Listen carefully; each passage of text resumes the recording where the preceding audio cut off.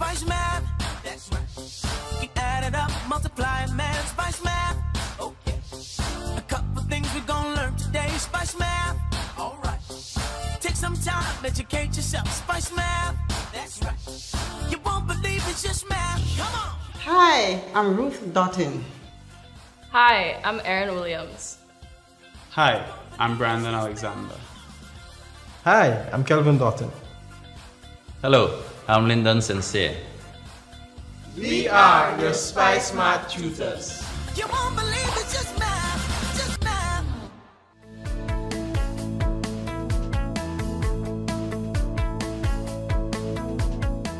Hey everyone, welcome back to Spice Math.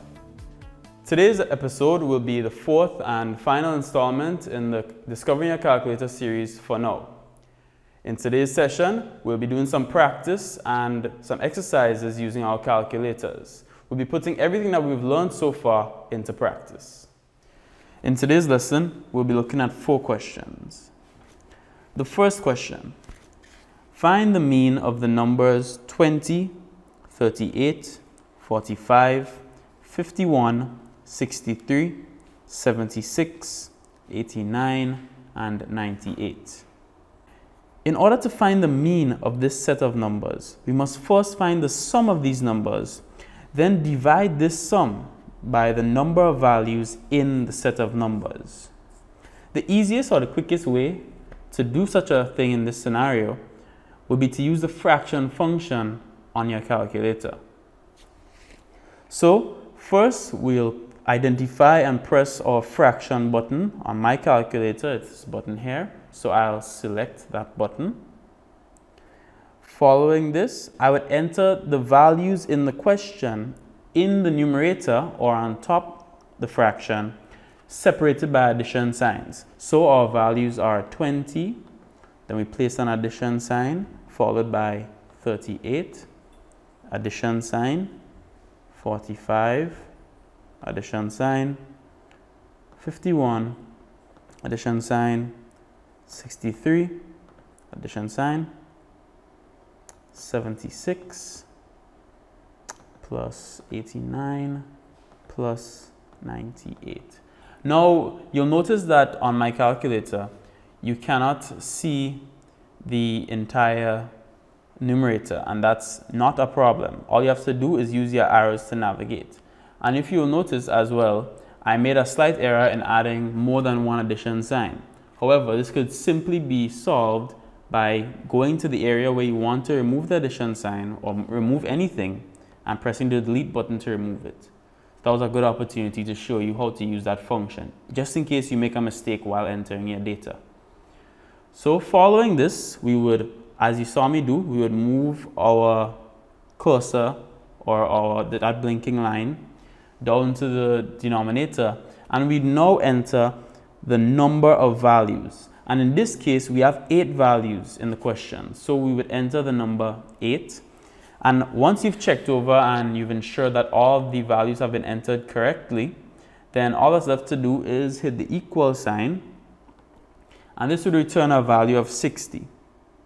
So that means that the mean or the average of the set of numbers in the question has a value of 60.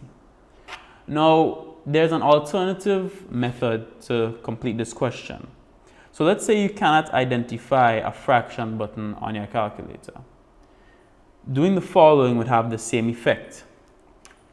You can simply insert an open bracket and once this is done, enter all of the values in the question separated by addition sign. So 20, again, plus 38, plus 45, plus 51, plus 63, plus 76, plus 89, plus 98. Now that you've done this, you have to complete the bracket by closing the bracket. So just to show, just make sure everybody's on the same page as me. So the first thing we did, we put an open bracket and we then placed all of our, all the values in the question in the bracket separated by addition signs. Now we must close this bracket. The next step would be to hit the division sign and enter the number of values in the question. And in this question, we had 8 values, therefore that number would be 8.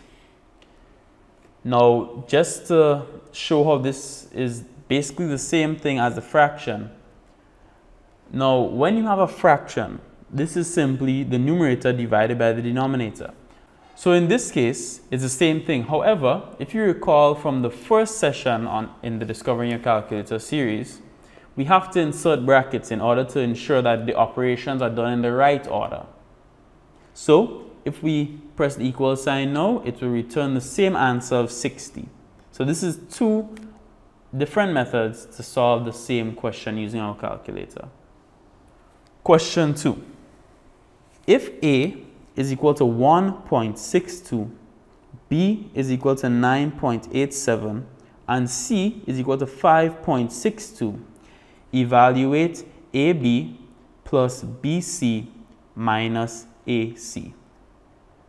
So the first step in solving such a question would be to identify how you would enter such a set of operations into the calculator. In this question, the rules of BODMAS or BOMDAS stipulate that the multiplications take place first, followed by the additions and subtractions. Also, I want you to note that when there is no sign between two adjacent terms or two terms that are next to each other, it implies or it means that there's a multiplication taking place. To enter this, we would have to put a times b in a bracket in the place of ab plus b times c in a bracket in the place of bc minus a times c in a bracket in the place of ac. So, in order to actually evaluate this question, we must substitute the numbers in for the letters, meaning that we must swap out the letters for the numbers which they are equal to. So it will be carried out as follows. First, we place an open bracket and put our value for A, 1.62, multiplied by our value for B, 9.87 and we then close the bracket. So this piece of our entry would cover the value for AB. Because as you see here, it is the value of A multiplied by the value of B. The next part of the expression has an addition sign. So we place our addition sign. The next part is BC. In order to enter that, we place the value of B, which is 9.87. we put a multiplication sign and then we enter the value for C, which is 5.62. So this section would cover the BC part of the equation because it is the value of B multiplied by the value of C. Next, we will put a, a subtraction sign followed by an open bracket. And in this bracket, we will have A, which is 1.62, multiplied by C, which is 5.62. Now, once the bracket is closed, all that's left to do now is to press the equal sign. And once we do this, the calculator will return an answer of 62.3544, which is the correct answer to this question. So if we were to evaluate AB plus BC minus AC, with A being 1.62, B being 9.87, and C being 5.62, our answer would be 62.3544. Question 3. Evaluate the cube root of negative 5 squared plus 10 squared. So here our knowledge of roots and powers will come into play. The first step in this calculation will be to place the cube root sign. So in one of our episodes we talked about roots and powers and we identified our cube root sign. So on my calculator, I have to use the second function to access it. So I'll press shift and press the button with the cube root sign above it. And remember, a cube root looks like a square root, but in the place of the 2, there's a 3. So this is our cube root sign. Once this is done, the next step will be to enter what's under the cube root sign. Now we must do this carefully for this question, considering where the brackets must be placed. Because if you recall from the same episode with powers and roots, when we are putting negative numbers to a certain power, then we must place the negative sign associated with the number inside the bracket. So after the cube root is placed, the open bracket button must be pressed.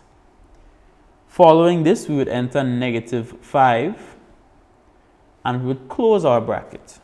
Now this is important because negative 5 is being squared, not just 5 and keeping the negative sign in front of it. Once this is done, we place a square on the entire bracket here. And in order to do this, we must ensure that the blinking line, or the I guess we'd call it a cursor, is outside of this bracket. Because the entire bracket is being squared, not just the 5. So we don't want to see this, just to be clear. We don't want to see this because this would return an incorrect answer for this situation. What we want to see is an open bracket. We enter our value negative 5, we close the bracket, and we put it to the power of 2. Following this, ensuring that the cursor is not in the power, but is on the same line as the normal pieces of the equation, we enter an addition sign, followed by the next part that is under the bracket, 10 squared. Now, it is important that we check through this entire expression because we have to ensure that both negative 5 squared and 10 squared are under the cube root sign. So once you've ensured that this is the case, all we have to do is press our equal sign and we, the calculator will return 5. Now the reason the calculator would return 5 is because negative 5 squared is equal to 25 and 10 squared is equal to 100. So once we add 25, which would be the value here, to 100, which would be the value here, we'll end up with 125 under the cube root, right? So everything under the cube root would give us a value of 125.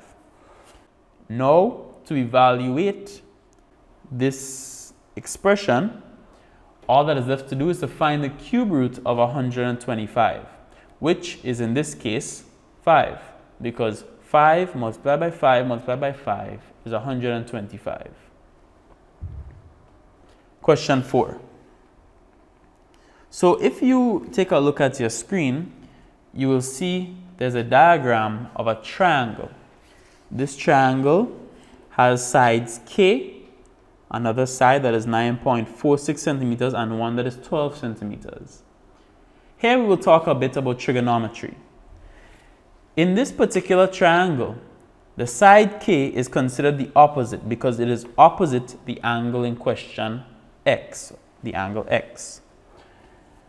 The side that has a length of 9.46 cm is considered the adjacent because it is adjacent or next to the angle x. The side that has a length of 12 centimeters is considered to be the hypotenuse. And what this means is that it's the line that is opposite the right angle. Our objective in this question is to find the value of x. In such a question, we would apply the formulas involved in trigonometry for right angle triangles. The formulas are as follows. Sine x is equal to opposite over hypotenuse. Cos x is equal to adjacent over hypotenuse. And tan x is equal to opposite over adjacent.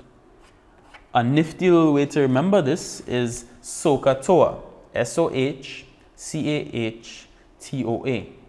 And this can be used to remember the three trigonometric ratios involved with right angle triangles. So, meaning sine is equal to opposite over hypotenuse. Ka, meaning cos is equal to adjacent over hypotenuse. And toa meaning that tan is equal to opposite over adjacent. So as I said, in this question, our objective will be to find x. That's the angle in question indicated in the diagram. This will require us to apply a formula, one of the trigonometric ratios that I just mentioned, and our knowledge of inverse trigonometric ratios. First step will be to identify which formula is appropriate to use. In this case, the information we have is the length of the adjacent and the length of the hypotenuse. So we look for the formula which involves the adjacent and the hypotenuse. And we can come to the conclusion that cos is a trigonometric ratio that we have to use because it involves the adjacent and the hypotenuse. So the next step would be to work out the right hand side of the formula. In order to do this, we simply divide 9.46 by 12. Or, alternatively, if we wanted to arrive at the same answer, we could have used our fraction function, entered 9.46 as our numerator, move down to below to the denominator and enter 12 as, as it's stated in the formula because the formula is cos x is equal to adjacent over hypotenuse. And here our adjacent 9.46 is over our hypotenuse of 12 cm. And this would give us 473 over 600. Here we can apply a trick that we learned in one of our videos. And that is to use the fraction to decimal function, which is represented as s to d or f to d. Here we see that when we work out the right hand side of the equation, we will get 0.7883 recurring, with the 3 being the value that's recurring. But if we take it to four decimal places, we will get that the right hand side is equal to 0.7883. Now, to solve the question, now we want to find x. What we have to do is apply our knowledge of inverse trig ratios. So, if you recall from the last few lessons, if cos x is equal to 0 0.7883, then x is equal to cos inverse of 0 0.7883. So, to, to enter this into our calculator, we clear what we have here. And here we could either use the answer function or we could note our value in order to reuse it in this part of the working. So we know that x is equal to cos inverse of 0.7883 to four decimal places. So I access cos inverse by pressing the shift button and identifying the button with cos, inverse over it. And that's the cos button on my calculator.